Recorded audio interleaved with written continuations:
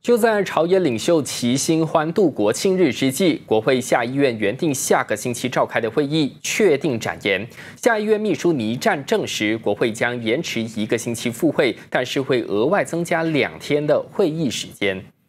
倪战在发给所有国会议员的信函当中宣布，更改国会的会议日期，原定九月六号到三十号，一共十五天的会议将顺延一个星期，也就是十三号才召开。不过，会议的时间将增加两天，到十月十二号。而根据最新出炉的议程安排，九月十三号第一天复会的时候，国家元首上午十点将会发表谕词，隔天议员们将针对谕词展开辩论。虽然倪战没有透露改期的原因，但是原本的日期是由前朝穆尤丁政府掌权时制定的。由于首相将在国会上面对信任动议，因此来临的国会将备受瞩目。